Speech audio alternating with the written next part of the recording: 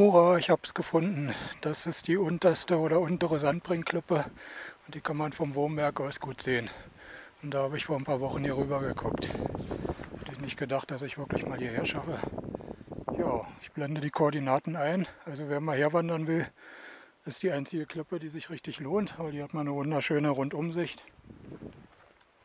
Da drüben ist der Wurmberg. Da hinten eine Schirke, ich kann den Erdbeerkopf sehen und die Leistenklippe eventuell, Grenzklippe, also den Hohnekamm sieht man.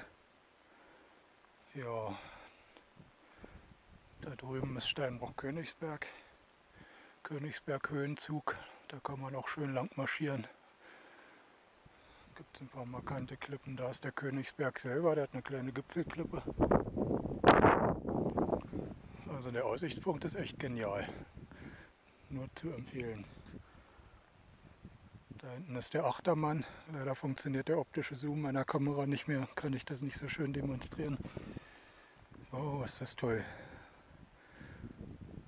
Ja, danke an Luke 1166 und die Wanderfreunde aus Werningerode, die schon etwas älter sind. Die sind schon mal hier gewesen. Ich weiß nicht, auf welchem Pfad die es überhaupt geschafft haben, hierher zu kommen.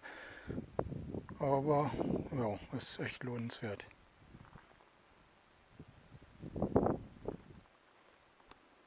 Also auf die unterste Sandbrinkklippe geht ein kleiner Pfad hoch, kommt man problemlos hoch, ohne Gefahr.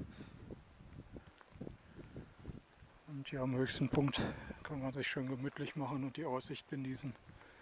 Ich werde mal noch fünf Minuten hier bleiben und dann gehe ich nach Schürke zurück. Oh, Nachtrag zur unteren Sandbrinkklippe. Hier ist ja irgend so ein topografischer Punkt oder Markierungsstein. Ich habe drauf gestanden, habe es nicht mal wahrgenommen. Das ist ja ulkig. Ist irgendwas, irgendwas eingraviert, kann man nicht erkennen.